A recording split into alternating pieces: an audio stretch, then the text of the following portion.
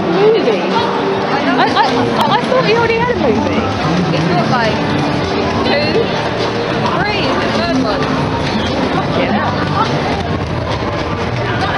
You know him? The hashtag will come up on stage, I promise you, okay? You know him? He's a person. You love him? Please give him a massive welcome. The one, the only, Jacksepticeye! Did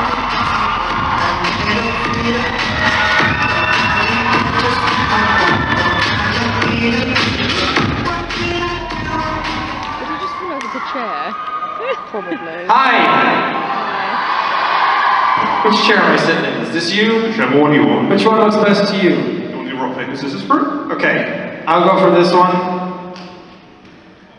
Cool! We did it. I'm glad we sorted that out. How's everyone doing? Cool. God, mother of Jesus, this room is big. I don't know who they thought was going to show up. It's a good morning though for it, I think. So you do have hashtag up on stage. oh, and me. Hello. Yeah.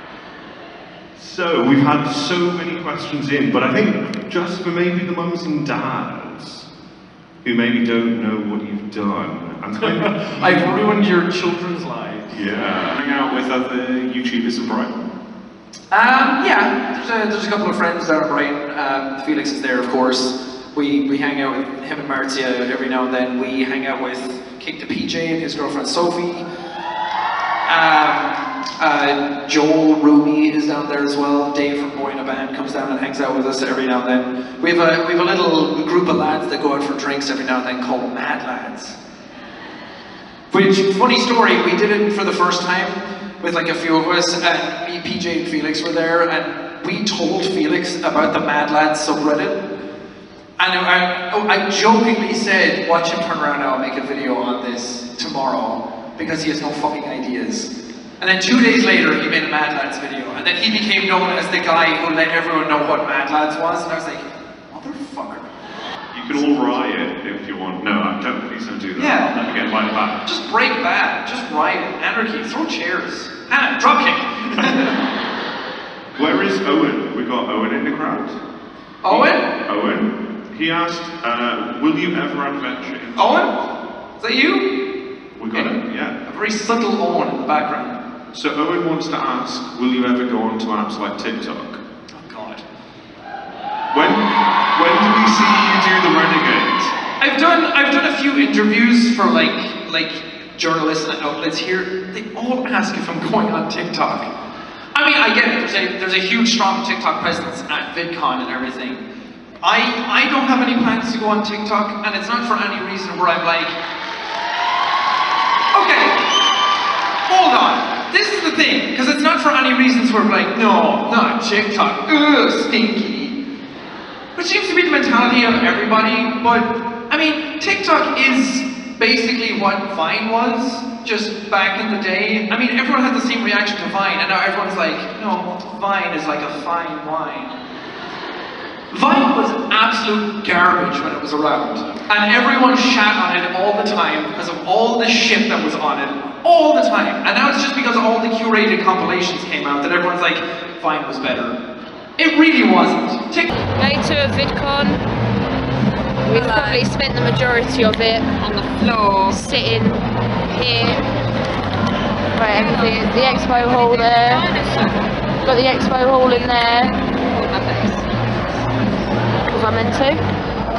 I about doing the dinosaur, and I did that, and you didn't even acknowledge me. You know, we spent the majority of it sitting here. Oh, what is it called? Blue. Blue. I just had a slush puppy. Fun times. Did a couple of Q and A's and a panel. Got another panel in uh, 45 minutes. So yeah. Hope you guys have been enjoying the vlog so far. I am I'm enjoying it. I hello. Hi, enjoy it please. Subscribe to my channel. Here we go. No, actually subscribe to her channel because she needs more than me. Yeah, but thanks, but it's true. Yes. 25 subs. 25, 25 and not counting. please do. Why do I have more subs? Oh, I've just, I have been on. Well, you, you've been on there for like three years. three year anniversary. So yeah, you've been on there like two years. Three years. Yeah, no, I mean- what I mean is about two years longer than I have. Well, actually, no, Oh. because I started in 2018. So I'm nearly up. I'm nearly about a year and a half, and only 25 subs, guys. Come on. Yeah. So this one's going good. It is. It's loud in here, and I think I'm coming down with a cold. Uh, as you can probably tell. So once you sneeze on me, No. I don't want any. no. So yeah. That's it for now. Bye. Hello. We're in a vlog now. See? Dazzlers are ascending. Um, like that for the rest of this channel. We out here for this vlog. I love this camera. This is so cool. I love it. Already? That's awesome. Um, subscribe to this channel and um, stay dazzling and all that stuff. See you later. Thanks. Thank you. Alrighty, good morning everyone, how are you? Good? Are we good? Yeah, fantastic. Uh, folks, welcome to uh, Gamers Unite. I'm out here. Uh, there's myself, uh, Daz Black, and uh, Plamela. Can we give a huge round of applause to Daz and Plamela? First, um, how are you both? Are you well? Very well. Good. Quite tired, but you know, still going, still ticking. I am knackered. You're knackered. I've had a coffee though, so. Do you find that when you come to events like VidCon, it is non-stop the entire time? Do you actually get a chance to kind of take a moment and breathe, or, or not? Sometimes, like yesterday was full on. Um, Yeah. I had like a sandwich all day, Okay. and uh, hopefully get more for Sunday. Get a foot long, you deserve it. yes. Um, and uh, you were doing the shows yesterday as well, the community shows on on the stage as well, which is Yeah, yeah, we opened up big one. That was good fun. We did like a meme challenge, and uh, we all had fun. Don't know if anyone was there. Was anyone at the meme challenge?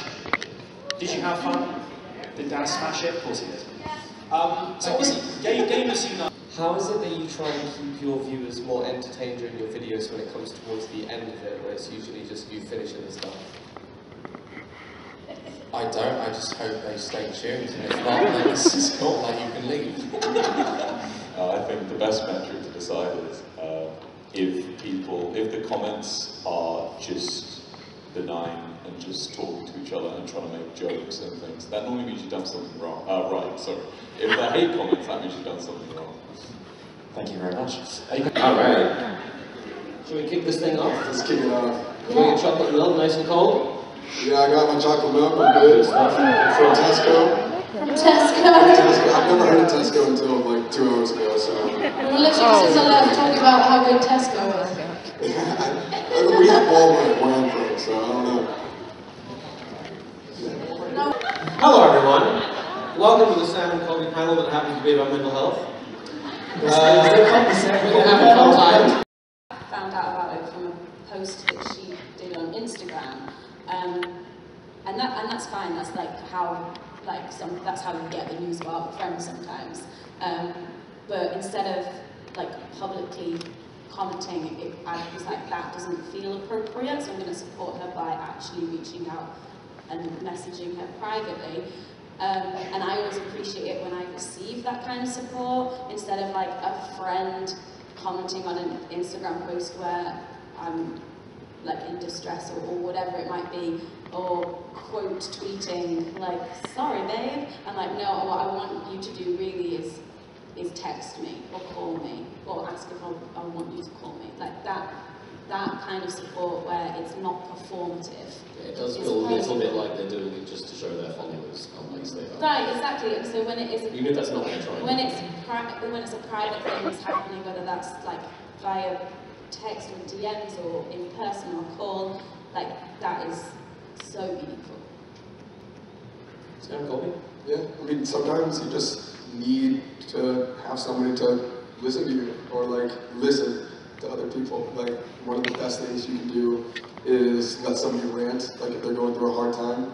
Um, just like let them like get it all out, talk about it because talking about it and getting it out and like just uh, not having it constantly in your mind is helps so much. If you're trying to support someone, uh, whether that be on social media or if it's your friends or your family, uh, a good place to always start is the things that are deep down meaningful to them, uh, like you know, even just giving them time, but rather than uh, congratulating them on big, big face value accomplishments or things that are uh, shallow, like appearances or something like that. Compliment them, support them on the things that they're passionate about, like their their true passions and arts and stuff that they, they find dear to their heart. It'll mean so much more than just commenting on the stuff that they're known for in like uh, the rest of their life, I guess. I don't know if that makes sense, but as opposed, let's for, for me, for example, as opposed to like saying, oh, like, like your YouTube videos, like, I would genuinely appreciate if my friends came and say, oh, I really like the way that you uh, think, or the way that you like um, said this specific point, just because it, it would mean more to me to know that they actually listen, as opposed to just like making general statements. Well guys, that is a wrap for VidCon 2020. Um, as you can tell, I'm back home now, and it was a long journey home because rail replacements, you know, buses, all that jazz. Um, but yeah, I'm finally home, had a really amazing weekend, made some amazing memories, some that I'll never forget, like meeting Sam and Colby, uh, Jake Webber, Corey Scherer, who are four people who mean the world to me and I adore them, have done since the Vine days. Uh, just absolutely amazing, amazing people. Um, met Daz again, as you can tell, obviously by his bit in the vlog. Um, again, he is very, very special to me. He's always got a special place in my heart. Um, and then met Jacksepticeye as well. Didn't get any footage of him apart from when he was doing his Q&A. Um, but he was a really sweet guy. And, oh, just the whole weekend was amazing.